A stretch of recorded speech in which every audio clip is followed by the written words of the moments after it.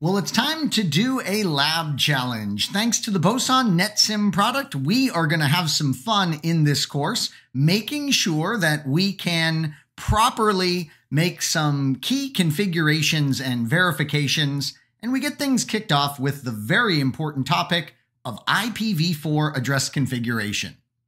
So you've probably heard me say it before. I am addicted to exercises like this. I just think they are so incredible. So there you can see our lab topology and you can see the IP addressing that we need to get in place. And there are, of course, step-by-step instructions that we need to follow. But one of the cool things is that we can really just kind of freestyle this based on the topology. There is one ingredient that is needed, and that is to set the speed on the router one serial interface, but we'll do that together per the instructions. So the first thing that I need to do is here on router one, get it set up with its proper host name, and that's going to be router one.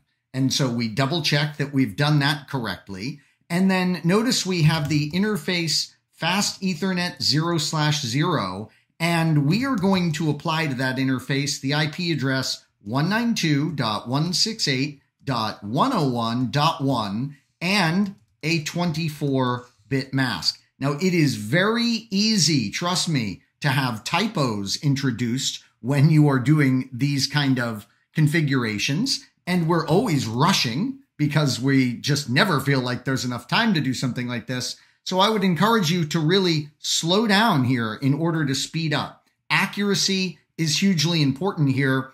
And notice how easy it would be to forget to no shut the interface as I just did. So that would be very easy to forget. Now we're going to slide over to the serial 0 slash 0 interface. And we indicated that we needed to set the interface speed. So let's go ahead and see how we would do that. And the command that we are going to need under this serial interface is going to be the clock command. So notice I was initially going for the speed there, but the actual command is clock and then rate. And then we're going to specify the rate, which is 64,000. And again, that was given to us in the scenario steps that we needed to solve. And then we can't forget the IP address. It's going to be 192 168.1.1 and our 24 bit mask. So I'm entering that information very carefully. Let's not forget our no shut. And if we did that correctly, uh, we should be able to get a nice uh, bang for our buck with verification here now with show IP interface brief. And we can see, excellent, we have the Fast Ethernet 0 slash 0 with the appropriate IP address. It's in the up up state. And look at that. The serial 0 slash 0 is in the down down state. It does have the correct IP address, but that down down, I'm sure, is going to handle itself once we configure the other side of the link. And guess what? We're ready to do that now. So we are going to slide over to our lab topology here, double click router two, in order to make our console to it. And first things first, let's do our host name, and this is going to be router 2. I'm going to go back to my lab instructions so I can see my IP addressing that I need. And let's do that serial 0 slash 0 first. And there we go. And we're going to do an IP address of 192.168.1.2 and our 24 bit mask. And then we are going to do our no shut. And we are super curious if this works. Show IP interface brief. Yes, we are up, up. If we were to slide over to router one and rerun our show IP interface brief, we can see that serial link has achieved that nice up, up status that we want. So we cannot forget here on router two and notice I was just on router one.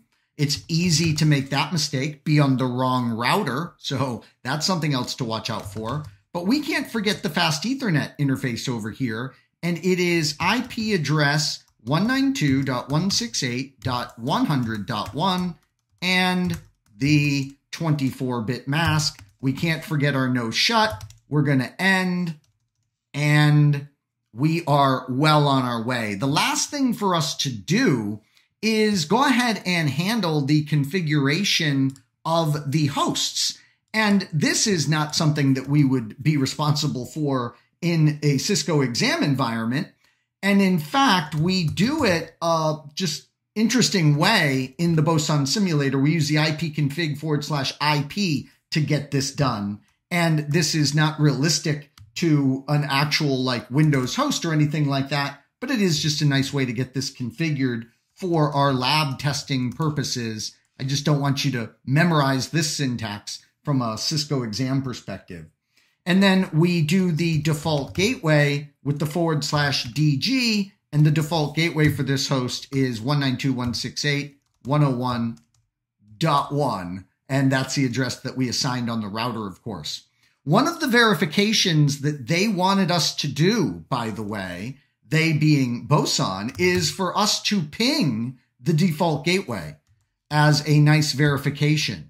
So if I ping 192.168.101.1, we hopefully will get a response, and we do. So that is host A pinging the fast Ethernet interface of router 1 that we configured.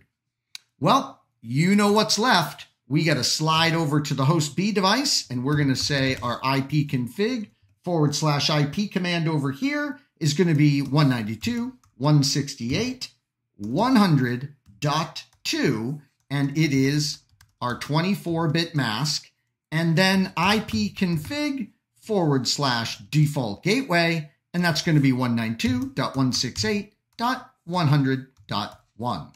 And then as they asked us to do, we will ping that default gateway from the host B system, and that worked great. So we are really feeling good here about our success in this lab challenge.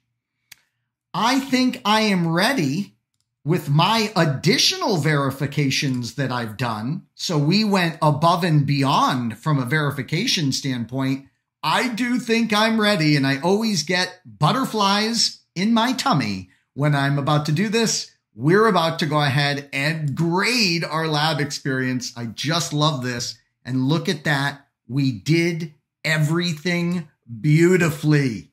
So, router one, uh, all of our configurations checked out perfectly. Router two, host A, and host B. And look at that. We didn't even have any uh, extra commands that were not needed. So that's always a great thing.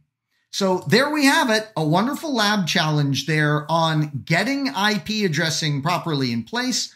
Notice that I really did verify as I went along, and I really tried to slow myself down a bit so that I increased the accuracy of my configurations.